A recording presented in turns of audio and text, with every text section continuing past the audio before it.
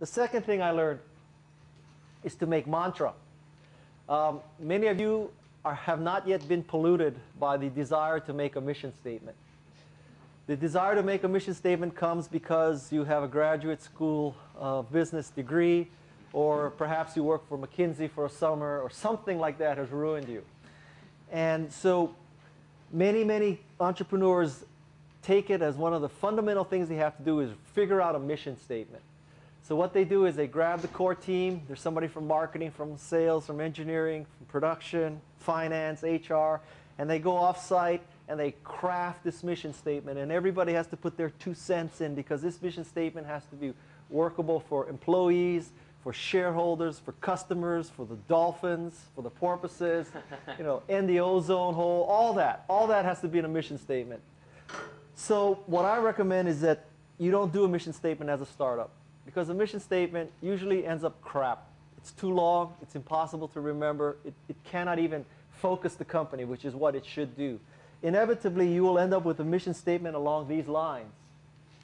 The mission of Wendy's is to deliver superior quality products and services for our customers and communities through leadership, innovation, and partnerships. How many of you thought that that was Wendy's mission statement when you bought a hamburger there? How many of you think you could go to Trixie or Biff working at Wendy's and ask them, what's the mission of Wendy's, and they can repeat that word for word? It's impossible. That is a $50,000 mission statement done by a consulting firm. I love Wendy's. Don't get me wrong. I love Wendy's. But the mission statement leaves a lot to be desired. By contrast, you should do a mantra. Do a mantra because it's only three or four words. It captures the essence of your organization. When you have a thousand employees or 10,000 employees and you can hire a facilitator or you can go off-site and you can use McKinsey, God bless you, write this mission statement. It'll make you feel better. You can put it up on your, in your annual report. You can post it in your cafeteria, whatever you want to do. But right now, as an entrepreneur, make a mantra. Here are some mantras.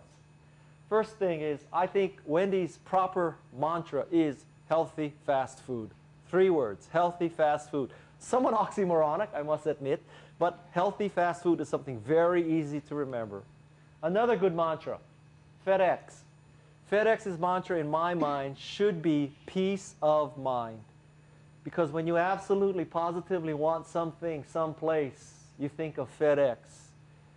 The FedEx employee is thinking peace of mind for our customer. A third mantra from Nike, authentic athletic performance. Just do it is the slogan. It's the slogan for the customer. Authentic athletic performance is the mantra for the employee.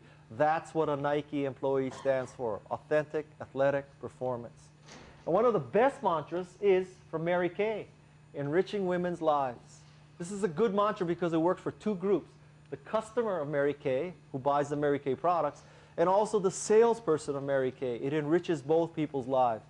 So these are examples of mantras. And I would suggest to you that you come up with a three or four word thing like that. For me, my personal mantra is empowering entrepreneurs.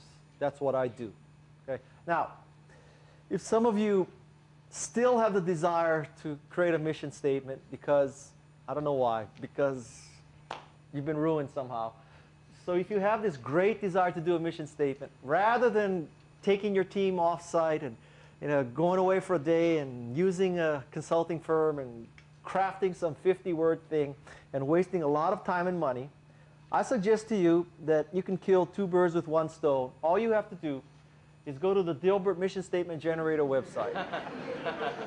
and there, for absolutely no cost, you can get a mission statement like the one you want. Like, we exist to professionally build long-term high-impact sources so that we may endeavor to synergistically leverage existing effective deliverables to stay competitive in tomorrow's world.